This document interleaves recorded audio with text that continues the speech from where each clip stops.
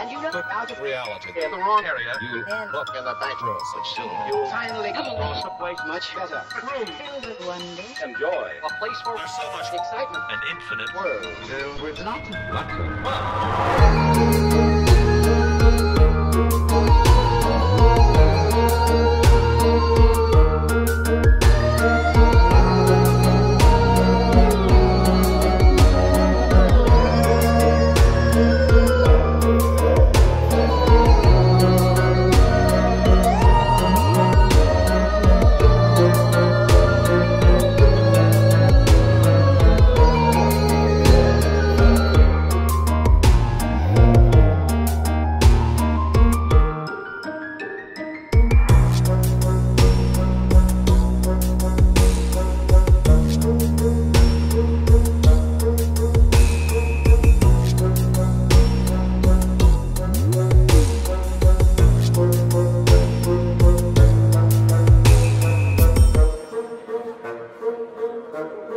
Of fun.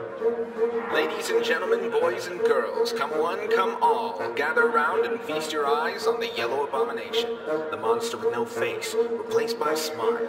Its figure similar to Play-Doh. None of their species is ever the same. Now you might be wondering, Mister, why do all of these terrifying creatures have a balloon? And how could they have tied it to the wrist like that if they don't have fingers?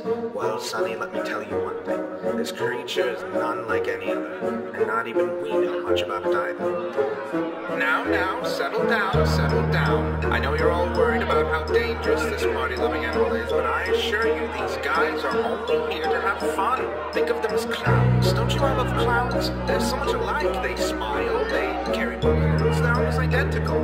Now, when I open the cage, I want you kids to have as much fun as you possibly can, because they won't be here for very long. Don't worry. Don't feel like the fun is lasting for eternity.